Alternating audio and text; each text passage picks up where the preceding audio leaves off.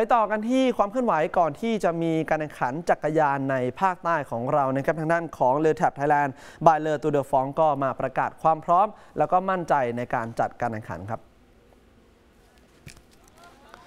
นายพงพนุสเวตรุนนะครับประหลัดกระทรวงการท่องเที่ยวและกีฬาครับ เป็นประธานแถลงข่าวการจัดเทศกาลปั่นจักรยานระดับโลกครั้งแรกในอาเซียนนะครับในการ L'Étape Thailand by Le Tour de France ใน concept ปิดเมืองพังงาปิดเส้นทางปั่นสีเหลืองนะครับ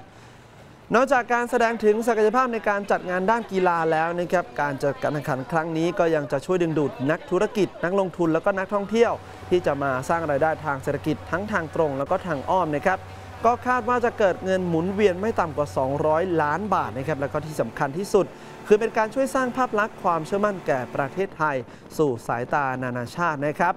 สำหรับการแข่งขันก็จะแบ่งเป็น 2 ระยะนะครับมี